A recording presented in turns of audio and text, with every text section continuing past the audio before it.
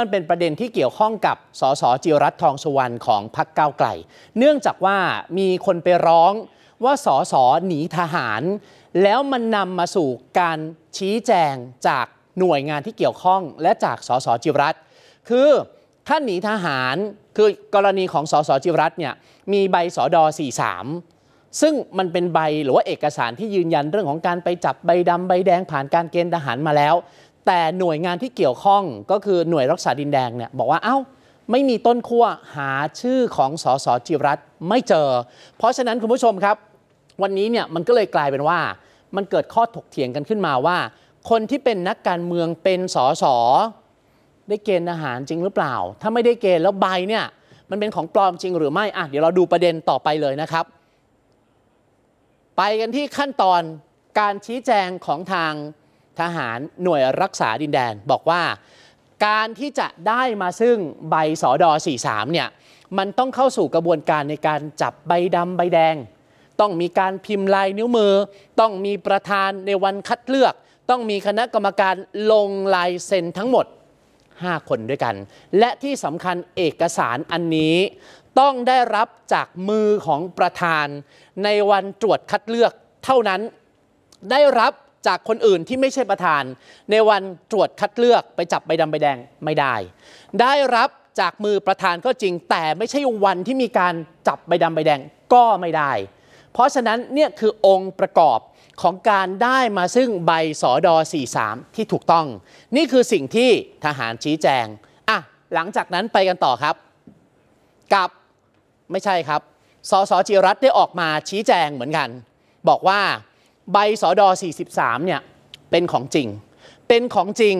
และเจ้าตัวได้ให้สัมภาษณ์กับบางสำนักข่าว ยืนยันว่าได้จับใบดำใบแดงเมื่อ 15 ปีที่แล้ว แล้วได้จากมือเจ้าหน้าที่อันนี้ข้อสังเกตนะ เจ้าหน้าที่คือประธานในวันนั้นหรือไม่ แต่ได้รับในสถานที่ราชการ ซึ่งของสสเจิรัตเนี่ยไม่มีการพิมพ์ลายนิ้วมือ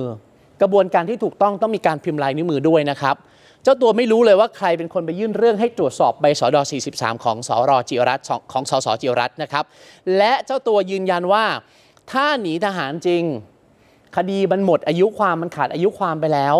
ไม่มีความจำเป็นที่จะต้องมาปลอมแปลงเอกสารหรือว่าใบสอดอ43 ให้มันเป็นเรื่องขึ้นมา นี่คือคำชี้แจงอ้าวหลังจากนี้เราจะยังไงกันต่อครับ หลังจากนี้ก็คือว่าพอมีการชี้แจงเสร็จปุ๊บ มันเกิดการจับจับพิรุษใบสอดอ43 ของสสจิรัตว่า 1. กองทัพเขาไม่มีต้นขั้วหายังไงก็หาไม่เจอนะครับ 2. สสจิรัตเนี่ยตอนที่ออกมาถแถลงหรือว่าให้ข่าวกับสื่อมวลชน ก็ไม่ได้เอาเอกสารตัวจริงมาโชว์ให้ดูด้วย นี่เป็นประเด็นสำคัญ เพราะมันก็จะถูกตั้งคำถามนี่แหละความตรงไปตรงมาของเอกสารฉบับนี้มันปลอมแปลง หรืออย่างไรและที่สำคัญคือ มันจะมีผลกับตำแหน่งสส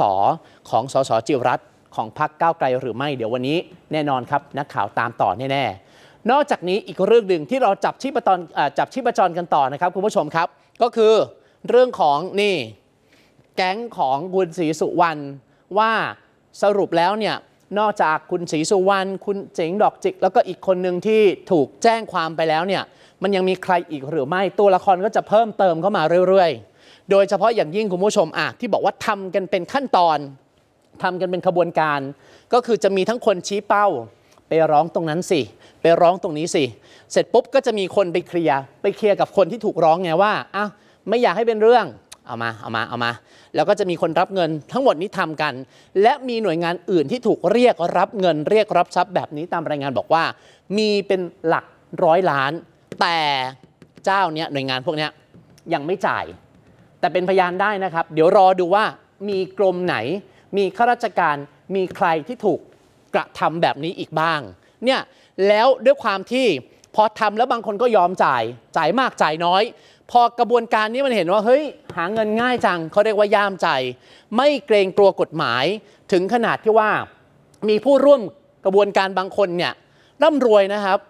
อาจจะโลโปรไฟล์เออแต่พอไปดูทรัพย์สินมีบ้านเป็นสิบหลัง มีที่นาเป็นร้อยไร่นี่ เงินที่ได้มาก็มาจากกระบวนการเหล่านี้ทั้งนั้น ทีเนี้ยสิ่งที่ตำรวจต้องการคือใคร พวกเนี้ยยิบย่อยเป็นระดับแบบอะนะใครไปทำก็ได้ ปลาใหญ่ ปลาใหญ่คนที่อยู่เบื้องหลัง ซึ่งใหญ่กว่าคุณศรีสุวรรณหรือว่าใหญ่กว่าทุกคนที่ตกเป็นผู้ต้องหาในคดีนี้ตำรวจกำลังตามอยู่ว่าปลาใหญ่ที่ว่า เป็นใครกันแน่นะครับคุณผู้ชมครับ จะเป็นนักการเมืองหรือไม่ที่ก่อนหน้านี้ที่ปรึกษากฎหมายบอกว่า ชื่อปอปาโทรมาสั่งเบรกบอกให้เบาๆหน่อย คดีนี้แล้วก็ให้นักกฎหมายเนี่ยยุติบทบาทไปสองเรื่องที่ว่ามาเรื่องของสสจิรัตน์กับไปสอดอ43 และเรื่องของคนที่อยู่เบื้องหลัง เชื่อว่ามันยังไม่จบเท่านี้นะครับเดี๋ยวติดตามได้ทั้งหมดในช่วงข่าวเที่ยงช่องวันกันนะครับใช่แล้วนะครับเพราะฉะนั้นเดี๋ยววันนี้ครับบ่ายโมงตรงต้องรอการแถลงก่อนว่าจะมีความชัดเจนยังไงด้วยนะฮะใช่ครับครับผม